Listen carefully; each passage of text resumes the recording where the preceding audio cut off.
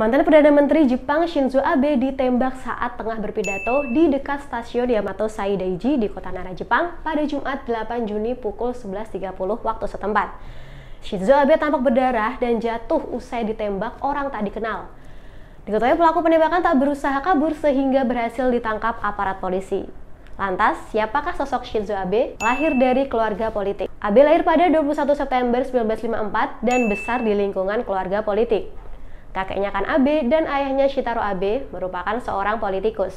Sementara ibu Abe merupakan anak dari seorang Perdana Menteri. Menjadi Perdana Menteri Jepang termuda. Pada 2006, Abe menjadi Perdana Menteri pertama yang lahir setelah Perang Dunia II dan juga menjadi yang termuda menjadi juru runding penculikan keluarga Jepang. Pada 2002, Abe menjadi juru runding utama untuk pemerintah Jepang atas nama keluarga-keluarga Jepang yang diculik dan dibawa ke Korea Utara. Mundur sebagai Perdana Menteri karena penyakit kronis. Di periode keempat menjabat sebagai Perdana Menteri Jepang, Shinzo Abe mengundurkan diri dari jabatannya pada Agustus 2020.